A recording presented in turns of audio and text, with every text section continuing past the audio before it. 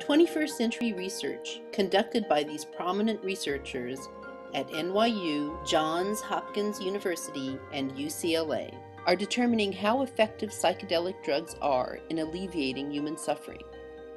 For life enhancement, treating pain, anxiety, post traumatic stress disorder,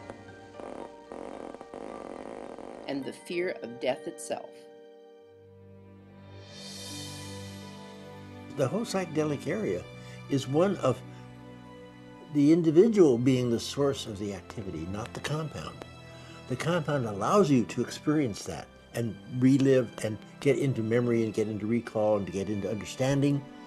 And that is the value of the psychedelic world. All of the classical psychedelics, LSD, psilocybin, mescaline, phenethylamines, the thing they have in common is they activate a serotonin receptor subtype called the serotonin 5-HT2A receptor.